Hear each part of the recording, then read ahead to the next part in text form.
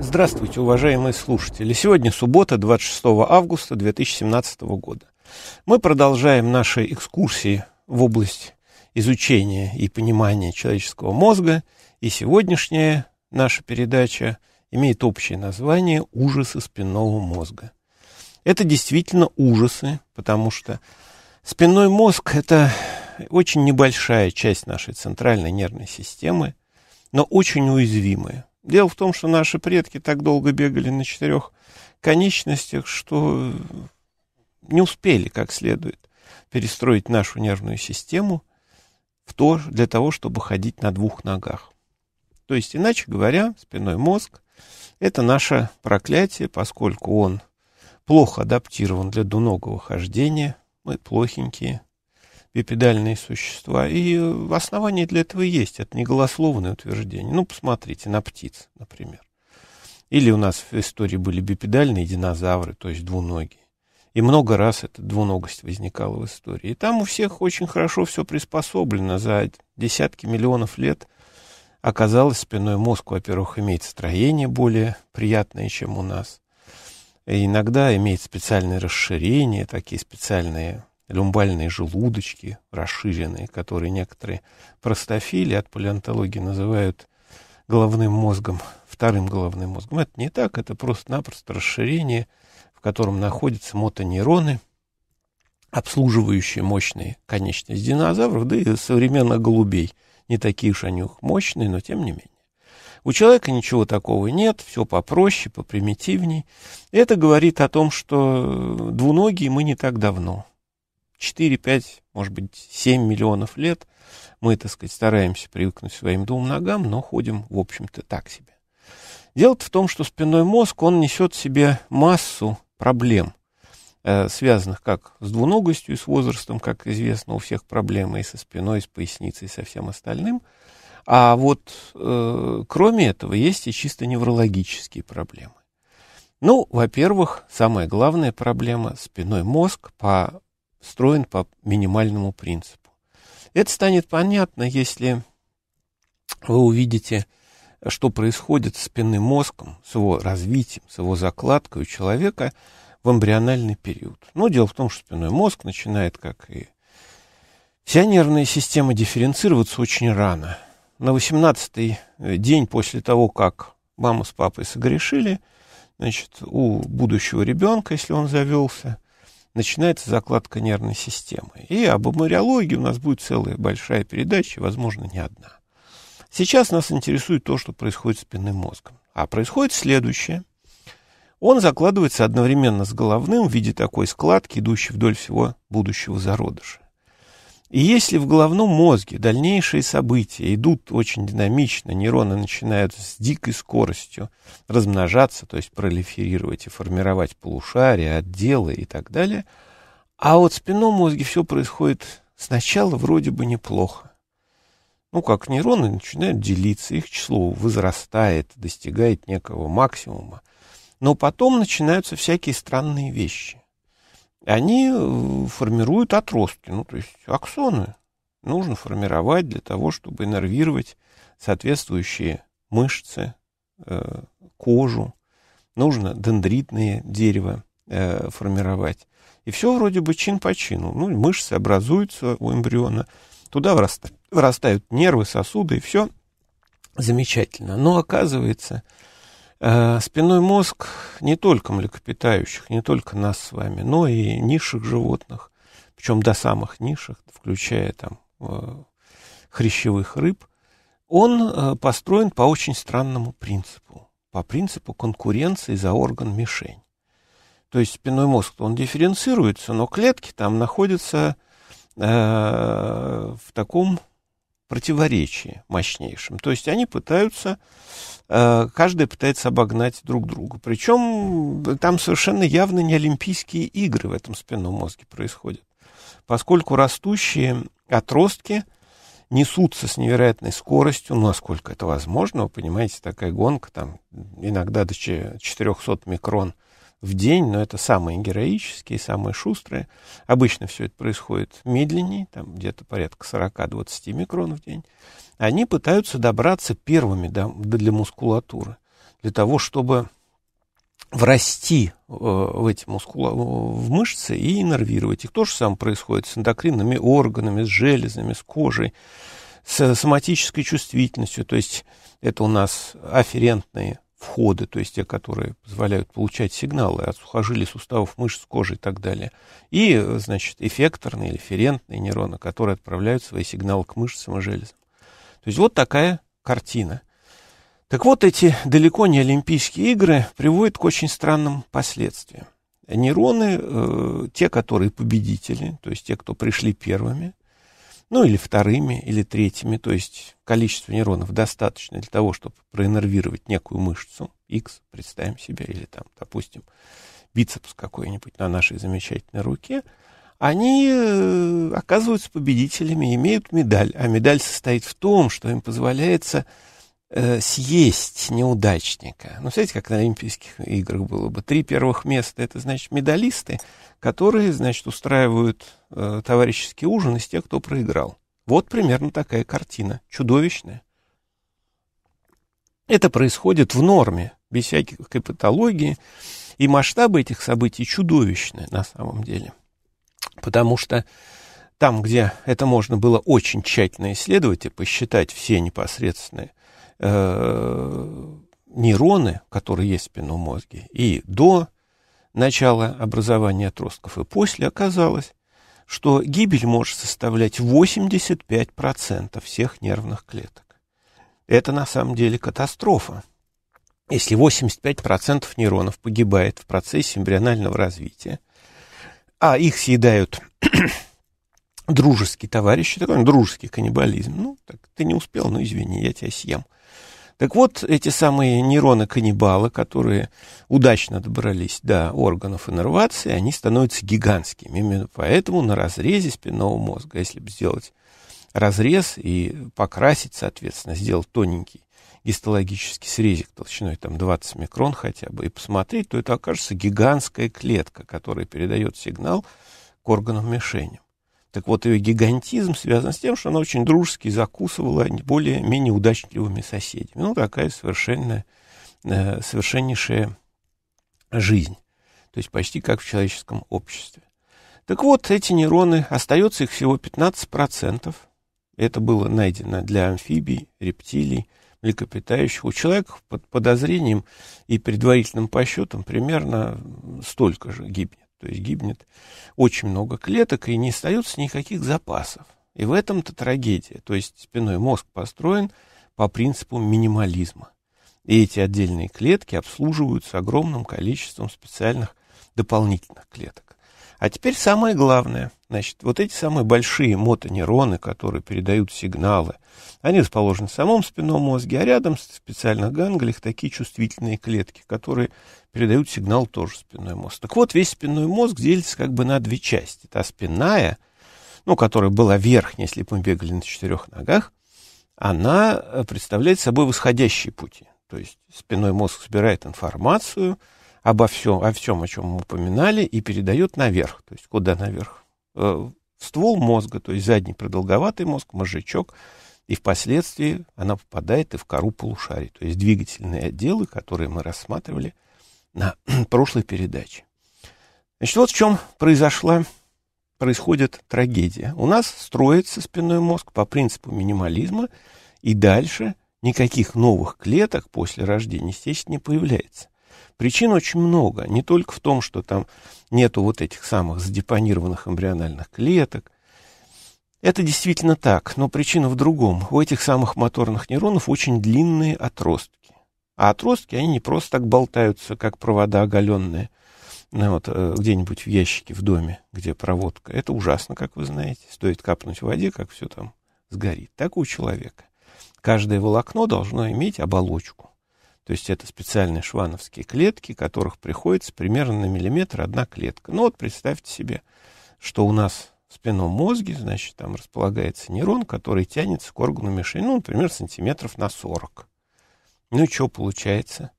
Это у нас там 400 э, глиальных клеток, как минимум, которые должны просто его изолировать, плюс клетки, которые его изолируют в районе мышцы, поскольку, вспомните, первый первую нашу передачу о том, что мозг является забарьерным органом, и вся нервная система забарьерная, то есть кто-то барьерные функции от собственной иммунной системы должен обеспечивать, защищать. А собственные активности иммунной системы, чтобы мозг не отторгнут. То есть он защищен на всем протяжении. Кроме этого, такие гигантские нейроны, как вы понимаете, надо очень активно питать. То есть нужно кормить. Для этого нужно кучу глии, которая э, бы передавала, соответственно, кислород, расходуемые вещества, выводила продукты метаболизма к нейрону и обратно. Что, собственно говоря, и происходит. То есть, иначе говоря, у нас с вами целый комплекс. Каждый нейрон, сохранившийся в этой самой нервной системе, в спинном мозге, он является уникальным явлением. Я не говорю, что там в коре такого нет. Но, например, корковые нейроны, которые управляют движением, оно самое быстрое у нас, быстрее, чем у любой кошки. Я уж там не говорю про какую-нибудь змею, это смешно даже сравнивать человека потому что у нас корковый нейрон начинается в коре большого мозга, передает сигнал напрямую на мотонейрон в спинном мозге, и тот уже к мышце. То есть мгновенно все происходит. А у кошки там три переключения, а у змеи десяток. Поэтому у змей шансов нет, если вы начинаете первыми. И побеждаете, естественно. Таким образом, у нас вот эти вот длинные отростки нейронов являются катастрофой. Почему? Потому что любой разрыв спинного мозга, любой дефект, он приводит к ужасным последствиям. Нужно восстанавливать не только сам аксон, как думают наивные американские неврологи, но и огромное количество глиальных клеток, которые будут изолировать его от внешнего мира, огромное количество глиальных клеток, которые будут его кормить, и специальные сосуды, которые на самом деле окружают спинной мозг. У нас три крупных сосуда, идущие вдоль спинного мозга, образуют еще такие за счет коллатеральных связей такую корону вокруг спинного мозга. Вся эта корона лежит в канале позвонков центральном и окружены вокруг еще специальными такими мягкими тканями, то есть ацетильные ткани плюс жир. И вот там, в этом во всем, проходят сосуды для того, чтобы просто защищаться от деформации. Так вот, спиной мозг у нас не бесконечной длины, и когда там почесывается где-то в районе прошлого хвоста, это, к сожалению, не спинной мозг. Спиной мозг заканчивается очень высоко на самом деле. Он длиной у мужчин где-то около 45 сантиметров, у женщин чуть поменьше, весит всего около 30 грамм, плюс-минус там пара грамм. И в диаметре где-то около сантиметра. Ну, чем выше голове, тем он потолще, поскольку туда собираются отростки, как восходящие, которые передают сигналы в головной мозг, так и нисходящие. То есть, иначе говоря, это очень уязвимая структура не потому, что там надо туда нейронов насажать. Нет, она уязвима, потому что это проводниковая система в первую очередь. Есть, конечно, вполне понятные автономные рефлексы. Ну, вы же не думаете о том, как вы там глотаете пищу. Она как-то сама заскакивает. Ну, там в кишечнике, собственно, очень сложная нервная система. О ней будет разговор в будущем. И очень важная и очень уязвимая, особенно от плохой пищи. Но в данном случае у нас ситуация немножко другая. Спинной мозг – это в первую очередь проводниковая часть. Есть автономные рефлексы. Те, которые прекрасно работают на автономном уровне. Ну, примеров таких очень много. Есть даже хроника такая, когда человек бежит, например, там, э, в атаку во время войны, ему сносит там, снарядом голову, он продолжает бежать еще там метров 100-150, пока обо что-нибудь не споткнется. В чем дело? Да дело в том, что на уровне сегментов спинного мозга существуют такие автономные сигналы, которые возникают у нас э, и сопровождают нас всю жизнь. То есть мы не, особенно не заморачиваемся, когда ходим по улице, поскольку это идут на автономном уровне. Вот так и человек, бегущий в атаку без головы, продолжает свое движение на уровне автономных сегментарных рефлексов, когда и чувствительные входы, и моторные выходы работают почти в автономном режиме. Хотя их все время контролирует и головной мозг, если что-то под ногами неожиданное, вы, как известно, подпрыгиваете сразу, боясь, что там какая-нибудь змея или еще что-нибудь. То есть, иначе говоря, в мозге есть, конечно, автономные функции. Он, конечно, может работать автономно и избавляет нас от массы задумчивости по поводу, какую мышцу сокращать. Но в то же время он является исключительно таким лошадью которую жестко погоняют, то есть таким ломовым извозчиком. И с ним связана масса проблем. Спиной мозг хорош лет до 30, то есть до нашего биологического репродуктивного возраста, который раньше считался концом человеческой жизни. В районе 30-35 лет жизнь людей, как правило, заканчивалась. Вот для этого времени спинной мозг очень неплохо работает, надо сказать, не хуже, чем у животных. Но единственная там тонкость возникает. У нас канале, в центральном, дырка такая, которая идет из мозговых желудочек через спинной мозг, этот канал к 30 годам как раз зарастает. А раз он зарастает, меняется обмен межклеточной жидкости. И обычно после 30 появляются первые признаки некоторых болевых ощущений, о которых следует поговорить, поскольку у нас, если брать только травматизацию, только в США и только по страховке, это 10 тысяч новых патологий спинного мозга, возникающих в результате травмы в год, а всего там около 250 тысяч колясочников. Это катастрофа. То есть примерно 40-80 случаев спинномозговой травмы возникает на 1 миллион людей в год. Это очень много. То есть 500 тысяч людей в год, и поэтому, конечно, людей очень волнует, как бы это все восстановить, как бы это все изменить, можно ли компенсировать. Вот исходя из того, что я рассказал, компенсировать это очень трудно, поскольку длиннющие проводники надо восстанавливать не отдельную клетку, а надо восстанавливать эти самые проводники. А проводники длинные, как я говорил, с головного мозга, они могут достигать метр десяти сантиметра, а те, которые идут к органам, ну, поменьше чуть-чуть, но тоже очень длинные. Растут они, кстати говоря, не три месяца, как вам обещают любители стволовых клеток, что является чистейшим враньем, а растут годами. И у человека, как вы знаете, рост так устанавливается к половому созреванию, иногда и потом продолжается. То есть это речь идет о десятках лет. Так что если бы даже все было идеально, и вам бы каким-то волшебным чудом пересадили бы нейрон в спинной мозг, то оказалось бы, что его растить надо многие десятки лет, а не соединять кусочки. Давайте соединим кусочки на 10 сантиметров, и человек пойдет. Нет, не пойдет. К сожалению, этих объявлений о том, что такими чудесными способами лечат спинномозговую травму, они с 40-х годов прошлого столетия. А уж то, что было в 90-х, когда вместо стволовых клеток были фетальные и прочее, прочее, когда, значит, обещали там вырастить связи, все это закончилось ничем. Как известно, так ничем и продолжается. Почему? Потому что вот эти длинные проводники – вы даже в идеальном случае создать очень сложно, потому что каждый нейрон окружен, как говорил, огромным количеством глиальных клеток, нужно подводить к нему гигантское количество крови, то есть нужно обеспечивать. А кроме этого, сам нейрон-то должен быть огромным, потому что где там при пересадках вот эти самые псевдостволовые клетки могут наесться своих сотоварищей, чтобы стать большими? Нету этого. То есть, к сожалению, на сегодняшний день это в основном э, мелкое надувательство, которое массово задуривает головы людям.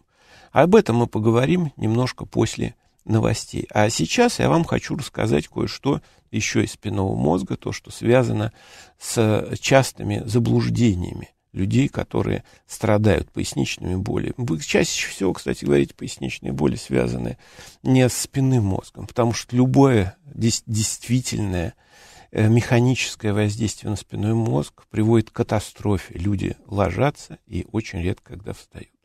Поэтому все рассказы о том, у кого-то что-то зажало, зажало где-то, являются бабушкиными сказками. Но вот другое дело, то, что с собой надо следить, надо проверять, нет ли каких-то изменений с позвоночником, нет ли каких-то изменений с самим спинным мозгом, нет ли каких-то новообразований и прочее. Это надо отслеживать. Но Относиться к этому надо э, не только серьезно, но и очень разумно. Потому что, еще раз повторю, спинной мозг, он короткий, он не протягивается до самого э, копчика. А что происходит? Дело в том, что в процессе развития эмбрионального э, позвоночник, позвонки растут быстрее, чем спинной мозг. Спинной мозг уже начинает образовывать связи и уже дальше вытягиваться не может. А позвоночник продолжает активно расти. Вот в результате такой асинхронности получается, что позвоночник у нас там где-то 45-43 сантиметра, а э, спиной мозг 42-43, а позвоночник длиннее.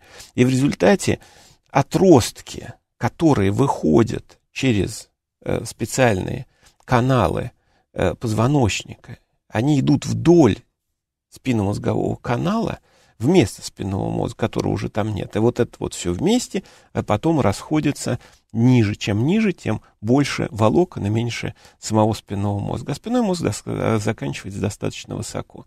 То есть у нас такой, ну, короченный по отношению с размерами э, позвоночника. Ну, как у лягушек, кстати говоря. Тут мы ни в чем не уникальны. Не только обезьяны, летучие мыши, но и лягушки имеют укороченный спинной мозг. Никаких тут чудес особых нет. И заканчивается он такой длинной штучкой – который называется конский хвост. На самом деле это просто мозговые оболочки, которые срослись, поскольку внутри никакой нервной ткани с нейронами нет. И вот это вот конский хвост, он на самом деле зафиксирован внутри э, позвоночного канала спинного мозга и достаточно жесткий. И в связи с этим существуют огромные проблемы, связанные э, с э, патологией спинного мозга. Даже если человек просто сидит на земле, вытянув ножки, не согнув в коленях, уже воздействие на вот этот конкистский хвост оказывается, то есть он растягивается. А если при этом он и резко наклонил голову, что часто бывает при падении на попку, то есть голова идет по законам гравитации вниз, ноги, если выпрямлены, то в этом случае можно получить что? Можно получить разрывы сосудов, которые обслуживают спиной мозг. И это может привести к очень серьезным последствиям спинномозговым ощущениям болей, очень мощным. То есть простейшая вещь, которую сейчас очень любят любители здорового образа жизни, падение на попку, так, чтобы была не зафиксирована голова, то есть она склоняется вниз, приводит к растяжению спинного мозга настолько резкому и настолько катастрофическому, что очень часто происходят разрывы сосудов. Это, безусловно, этого, безусловно, надо избегать. То есть спинной мозг, к нему нужно относиться очень бережно, помнить, что мы в недавнем прошлом были четвероногими существами, а не двуногими, и разгружать его по мере возможности. Не только постоянно худея, но и, э, так сказать, работая над собой, над своим повседневным э, поведением. Э, сам спинной мозг окружает спинномозговая жидкость, которая э, образуется не в самом спинном мозге.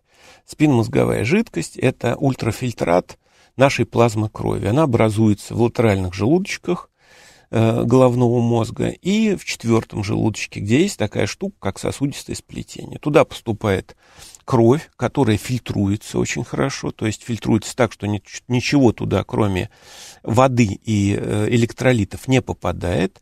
И дальше она проходит через мозг, у кого еще цел центральный канал спинного мозга, частично через него, а под мозговыми оболочками протекает по спинному мозгу сзади, и потом поднимается наверх э, головному мозгу, где собирается специальные такие цистерны спинномозговой жидкости и выходит по градиенту концентрации наружу через пахитоновые грануляции, которые находятся у нас над лобной областью. Вот такая циркуляция очень быстрая. Спинномозговая жидкость течет через наш головной спинной мозг струйкой, диаметром примерно 3 мм, как струйка из-под крана. Ужасы спинного мозга. Значит, у нас есть различная информация о спинном мозге, которая завлекательна, которая интересна, которая может помочь каждому из вас, в конце концов, жить более-менее осознанно и пользоваться им.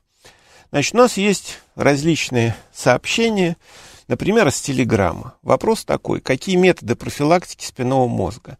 Может быть, укрепление мышц спины после 30 лет. Вообще укреплять все надо, вопрос совершенно справедливый. Для этого нужно достаточно работать, но работать не в одном положении, как, например, на конвейере гайки закручивать.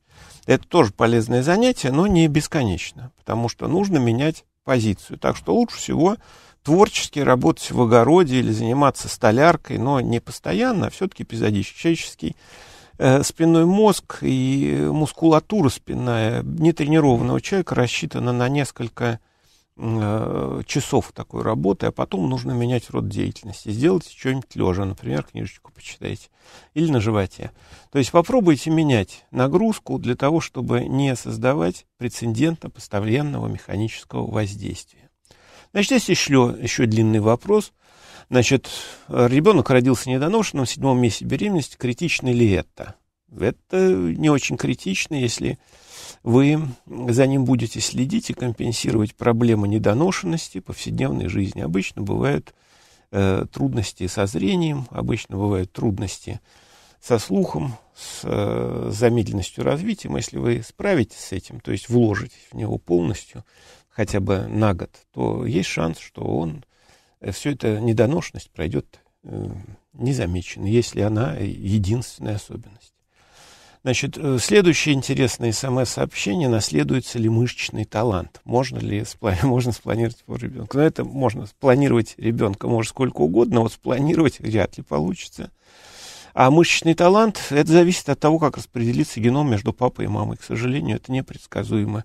Но обычно люди э, с крепкими родителями тоже становятся крепкими, потому что наследование э, митохондриальной ДНК идет по материнской линии. И если мамочка крепенькая такая, э, так сказать, спортивная, то быстрее всего у него будет наследоваться мамин мышечный талант, а не папин. Так что папа может быть и дохленький, это ничего. Значит, теперь мы перейдем э, к некоторым приятным занятиям. Так звучит панамская утка.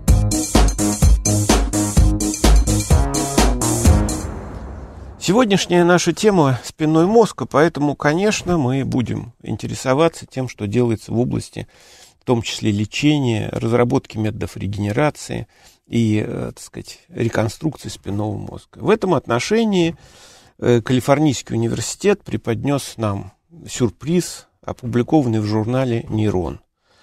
Ну, это из Сан-Диего. Значит, оказалось, что некто Марк Тушинский, что уже навевает некоторые идеи, э, заявил неожиданно для всего человечества, что поврежденный аксон еще не мертв. Прекрасное открытие американского ученого э, состоит в том, что он утверждает то, что известно последние 200 лет. Если аксон перерезается меньше, чем на э, две трети, то быстрее всего он не регенерирует. А если при повреждении, например, пальца на кухне острым ножом вы подрезаете кончик, то дальше начинается спроутинг, такое явление, которое э, восстанавливает концевое разветвление аксона, и э, чувствительность восстанавливается не скоро, не сразу, не так, как бы вам хотелось, но тем не менее.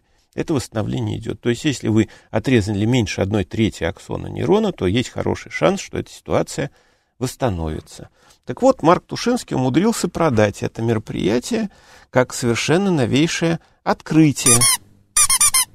Вот, и объяснил человечеству заблудшему много десятилетий назад о том, что если к этому добавить гены регенерации, которые, конечно, надо искать, добавить факторы роста нервов, которые известны уже почти столетия, вот, то можно добиться, наверное, восстановления. Поздравляю по гранту, парень отчитался. Есть еще не менее прекрасные эксперименты, которые, к сожалению, многие люди, особенно страдающие этими тяжелейшими э, заболеваниями, связанными, в общем, с прикованной коляском, верят, воспринимают как перспективу и, к сожалению, э, попадаются на этот обман, а часто и просто на воровство. Ну, в этом случае у нас опыты смелые проведены в Харбине, ну, они повторяют, китайцы повторяют эксперименты в Европе и в Америке, но смысл такой, что э, берут крыс, делают им повреждение спинного мозга, и дальше, э, не исследуя ничего подробно, чисто физиологические тесты, значит, э, они после такой перерезки, значит, показывают, что, оказывается, можно восстановить отростки спинного мозга крыс, то есть растить между собой. Ну, в контроле они, конечно, посыпали перерезанный спинной мозг солью, тоже очень оригинально. А уж какие ощущения были у крыс, остается только гадать. Э, вот. А морфологии, то есть морфологический контроль, что там происходит, конечно, не сделали. Но для лечения использовали полиэтиленгликоль, тот самый, который добавляют в умывающую жидкость для автомобилей. Очень полезное э, в плохую погоду средство. Но если его добавлять, по мнению китайских исследователей из Карбина, в разрезанный спинной мозг, то аксоны-то и начинают расти. А в чем гениальная идея? Гениальная идея состоит в том, что полиэтиленгликоль вызывает слияние клеток. То есть в тех случаях, когда ученым необходимо, например, какую-нибудь клетку раковую, которая живет вечно, они действительно живут вечно, еще с довоенных времен некоторые существуют, Они могут размножаться, но ни во что в хорошее превратиться уже не могут. Вот если такую клетку мы хотим наделить определенными свойствами нормальной клетки, то берут нормальную соматическую клетку с теми или иными, с того или иного органа, и с помощью полиэтиленгликоля в культуре ткани сливают ее. Тогда клетка как бы сохраняет часть своих способностей производить некие белки, а имеет при этом довольно длинную жизнь, как у раковой клетки. Вот, значит, вдохновившись открывшимися бездными знаниями, китайские исследователи решили налить полиэтиленгликоль ну, вот, э, в спинной мозг и пытались доказать, ну, вот, что их перерезка полностью восстанавливается. Ну, так, таких сумасшедших опытов было сделано очень много, как и делаются они почти 30 лет, так что поздравляем, китайские исследователи ступили широким шагом на путь западных коллег. Но, тем не менее, я думаю, что по деньгам они отчитались. Ну, наши ученые тоже не идут, не отстают от передовых методов исследования. И, конечно, было в ЦИТО, известное очень учреждение, занимающееся травмой, были сделаны эксперименты на крысах, куда в спинной мозг вводили магнитные наночастицы, то есть, иначе говоря, металлические опилки, только меленькие такие – а потом помещали эту самую крысу с поврежденным спинным мозгом в магнитное поле. В результате доказывали, в результате физиологических тестов, ну их много, там Басса, Биати, Бреснана, то есть это так знаменитые наборы этих тестов, которые позволяют втюхивать всякую нелепость. Но вот, показывали, что, оказывается, все срастается. Интересно, каким образом магнитные намагниченные опилки внутри спинного мозга стимулировали образование аксонов. Ну, эта загадка, думаю, ждет э, государственной премии в ближайшем будущем. Не менее интересные исследователи проводят, исследования проводятся в Эдинбурге, а тут уже действительно интересно. Значит, в данном случае исследовали пошли чисто, э, чисто так, как предполагается, предполагает тема нашей передачи. То есть это изначально утиная история. Как я понимаю, получив средства на исследование регенерации мозга, они взялись изучать Данио Рерио. Это такая рыбка полосатенькая, которую разводят обычно аквариумисты для продажи подросткам или на корм крупным, более дорогим рыбкам.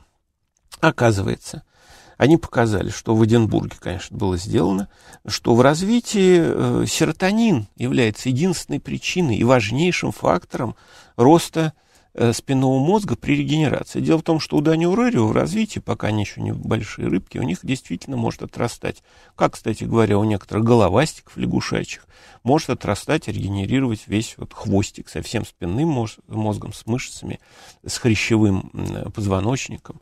Ну вот они показали, что это есть. Ну, новость такая немножко устарелая, ей лет 150, но тем не менее, они э, анаукообразили этот результат и показали, что при наличии серотонина, значит, у нас дело идет еще лучше. То есть, если серотонин есть, регенерация происходит, а если серотонин нет, регенерации не будет.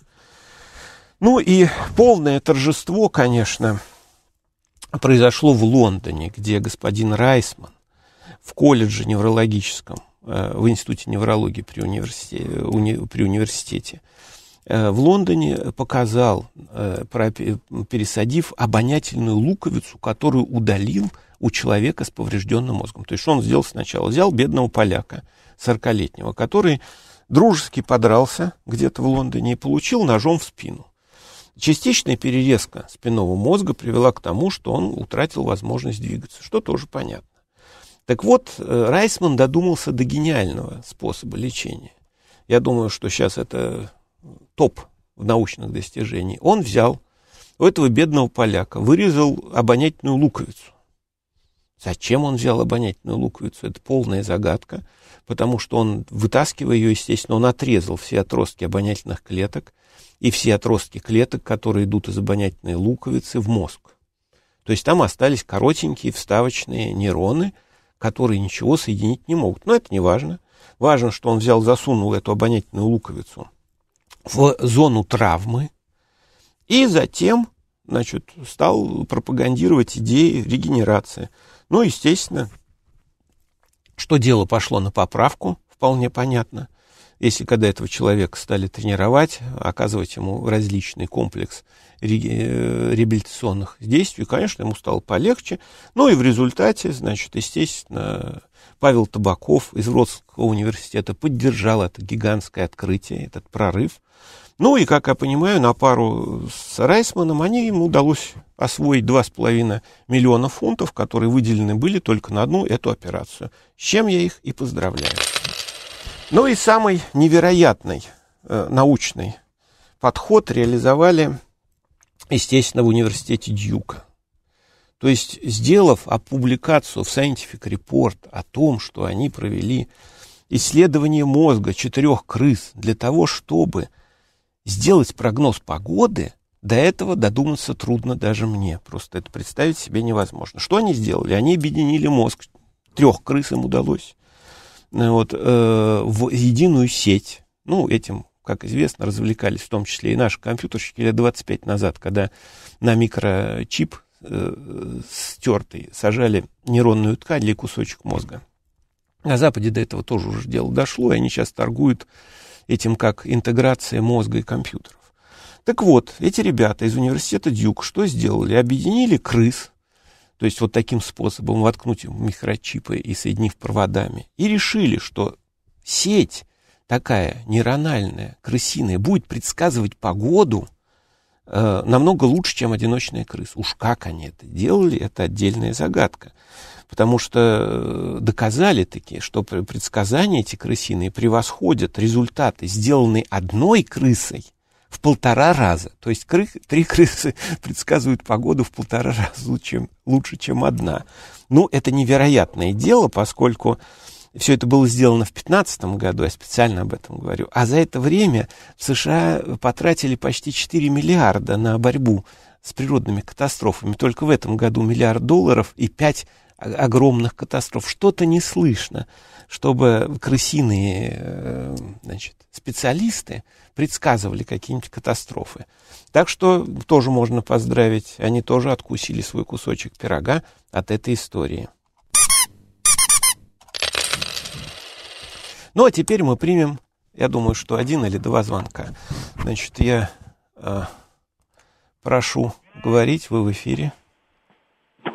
Алло. Да-да-да, вы в эфире, вас слушают. Задавайте а, вопрос. Здравствуйте. Я извиняюсь дико, что мой вопрос э, может немного не по теме, но все-таки она не слишком бытовая, вы сами понимаете. А, в общем, вопрос такой. Насколько эффективным может быть самовнушение и какие, может быть, вы знаете, действенные способы внушить себе какую-либо идею? Да, э, вопрос понятен. Самовнушение – это великая вещь мы себе большинство глупостей мы себе внушаем. Это ужасная история, потому что мы можем себя убедить в чем угодно. В том, что дети будут гениями, то, что мы безнадежно никому не нужны, ничего не умеем и никак наша жизнь не состоится. Это гигантская человеческая проблема. И именно самовнушение связано э, с большими трагедиями, потому что стоит человека чуть-чуть подтолкнуть, а он видит, что ему не так хорошо живется, как ему хотелось бы, как он начинает внушать себе как позитивные, так и отрицательные явления. Самовнушение всегда, любое внушение, которое вам делают, где куда бы вы ни пришли, там, вместо отправления культов, или на большую площадь с демонстрантами, или будете сидеть дома под одеялом, читать какую-нибудь мистическую литературу. Проверяйте все на практике. Потому что ничего лучше здравомыслия и проверки на практике достоверности ваших внушений нет. Есть два способа проверки любой глупости, которая у вас начинает э, чертыхаться внутри головного мозга. Как только вы чувствуете, что что-то происходит не то, сделайте две простых проверки. Первое. Э, предсказание результата. Вы внушили себе некую мысль. Отлично, проверьте ее. Предсказание результата – это один из лучших способов. А еще есть научный метод, называется метод известной добавки. То есть вы, если ваша теория, ваше внушение, ваша гипотеза, ваша вера верна, то изменив входные условия на известную величину, то вы в соответствии с своей теорией должны получить изменения на выходе, столь же пропорциональные. А если ваша теория не дает пропорционального выхода результата, то значит все это ерунда. Вот. Дальше Давайте сейчас мы примем еще звоночек и послушаем. Да, вас слушают, вы в эфире. А, здравствуйте. Подскажите, вот такой вопрос. Э, например, вот при сексуальном возбуждении, да, очень, э, вот, ну, лично у меня, э, каждый раз вот запоминаются именно вот эти вот женщины, да, вот, ну, с которыми были, да, именно вот при э, близости, да. И а сколько вам такой, лет? 32. Ну, вы отлично, у вас отличный гормональный фон, я вас поздравляю. Так что женщины запоминаются, это хорошо или плохо? А, нет, в смысле, это хорошо. Просто именно вот вопрос в том, что э, именно вот там математика, допустим, плохо запоминается, но вот именно при сексуальном возбуждении именно вот этот, э, ну, запоминаются очень сильно эти моменты, и прям я чувствую, что на подкорку они пишутся. Это как бы первый вопрос. И второй, вот я смотрю там фильмы, например, вот просто вот смотрю в кинотеатре, и я их полностью запоминаю именно, э, ну, диалоги, вот это все. Ну, помогает мне сейчас учить английский очень, очень хорошо. Вот с чем именно это тоже связано, что, ну, очень хорошо вот так запоминается. Да, все понял. Значит, э, мотивированность – это великое дело. Тут даже с психологами не поспоришь. То есть, когда у вас э, а, важнейшее, то есть весь смысл человеческой жизни – это перенос генома в следующее поколение. Поэтому, если вы э, так сказать, отягощаете свою жизнь такими развлечениями постоянно, конечно, вы будете запоминать. Это самое главное. Вы для этого родились на этот свет чтобы перенести геном. Поэтому, конечно, мобилизуется весь мозг, вся лимбическая система, и, конечно, запоминается. Это, это одни из самых ярких запоминаний в человеческой жизни, даже если их этих подруг будет достаточно много. А вы запоминаете э, английский, очень хорошо учить в кино, потому что тоже мотивация есть, наверное, английский вы учите не для того, чтобы ботинки подавать в гостинице, а для других каких-то целей. А раз так, то у вас есть серьезный второй инстинктивно-гормональный мотив – это еда – то есть у вас секс и еда, осталось только вот выучить английский, значит, и осчастливить какую-нибудь принцессу, и будет еще и доминантность. Так что, в общем, путь на самом деле правильный. Я прошу вас, говорите, вы в эфире. Да-да, я вас слушаю, задавайте вопрос. К сожалению, не получилось. Так, давайте другой попробуем. Я вас слушаю, вы в эфире. А, здравствуйте, Сергей Москва. Да. А вот не подскажете, вот иногда, ну, как это, нервная система, спинной мозг там, или вообще это мозговая какая-то активность, просто иногда вот по всему телу, ну, ни с того ни с сего проходит дрожь, можно сказать, от, от пальчика, то есть, ну, от головы, ну, до пальчиков ног.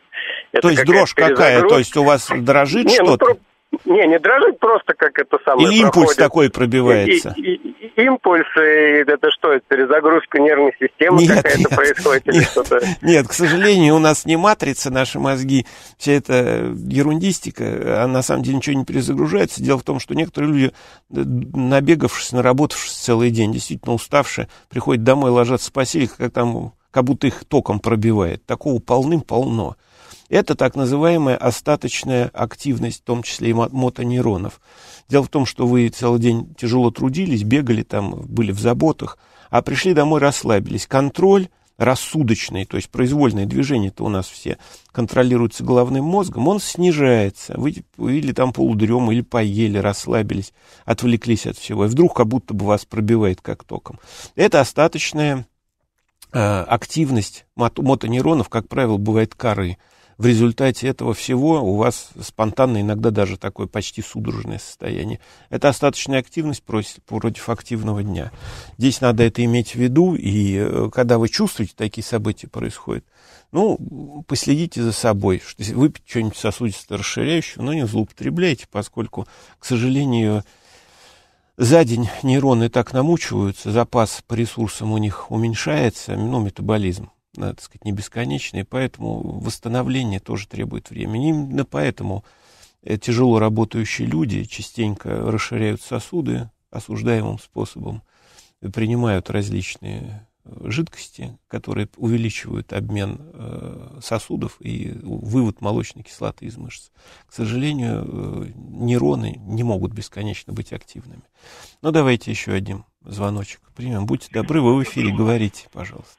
Добрый день, Юрий Москва. Здравствуйте. Скажите, пожалуйста, вот э, в мое время, когда я рос, там, 70-е, 80-е годы, там таких понятий, как депрессия там, и так далее, ну, у меня не существовало. Все работали там, ну, да, вопрос какой, жизнь. да, задайте, А пожалуйста. вот у моего сына 34 года, почему-то он считает, что у него депрессия и так далее. Вот насколько это ерунда или это на самом да, сейчас, деле правда? Сейчас объясню, все понял, спасибо за вопрос. Значит, э, насчет депрессии, того, что раньше не было э, депрессии, а теперь депрессия есть. Понимаете, вот это словоблудие, с помощью которых а, объясняют состояние человека, особенно самого себя. То есть дело в том, что депрессия это от чего она происходит? От того, что у тебя не решается ни один инстинктив, не решается ни одна инстинктивно-гормональная задача. Что ты сделал, чтобы ее решить? Депрессия это болезнь бездельников. В советское время такой не было, потому что все жили в системе двойных стандартов, когда человек, собственно говоря, э, был вынужден жить снаружи по одним законам, по законам недоразвитого социализма, а внутри себя и дома на кухне жить по другим. Собственно, это и убило эту страну, огромную, прекрасную, по-своему прекрасную. Это может убить любую страну, и самую современную, если будет такая система. Но вот эта система двойных стандартов, которая, когда каждый человек в Советском Союзе, ну, кто осознанно, так сказать, вел осознанную жизнь, жил как Штирлиц в Германии, то есть с двойными стандартами, находясь как бы в разведке вечно, Потому что если он придет, что-нибудь скажет там, любимому мастеру, начальнику, еще что-нибудь, то он может э, навсегда потерять перспективу просто получать даже навареную колбасу. Поэтому люди, э, людям был не до, депрессии. Они, как Штирлиц, работали, в общем, на двух работах, жили двумя жизнями. И тогда все хорошо.